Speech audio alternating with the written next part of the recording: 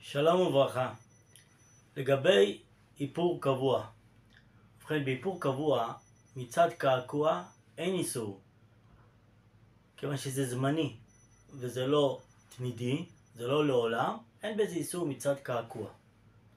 לכן אישה שנצטרכת לעשות איפור קבוע, כגון שחסר לה גבות וכדומה, מותר לה לעשות איפור קבוע. לגבי נושא של טבילה, אז זו שאלה בפני עצמה שצריך כל אחת, שצריכה כל אחת לשאול בזה מורה הוראה.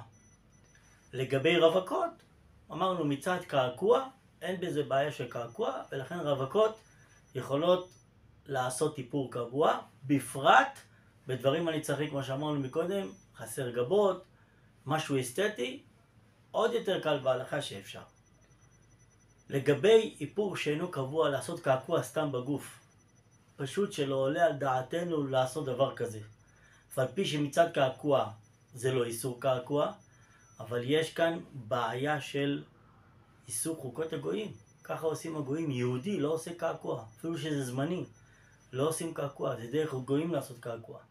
לכן, גם בקעקוע שהוא זמני, לא עושים בשאר הגוף.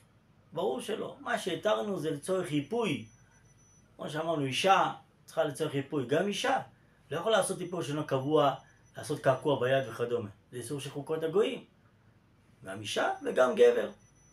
כמו שאמרנו, התרנו כשזה צורך מסוים, יש שיפוי וכדומה, אבל לא התירו לנו להיות ולחכות את מנהגי הגויים.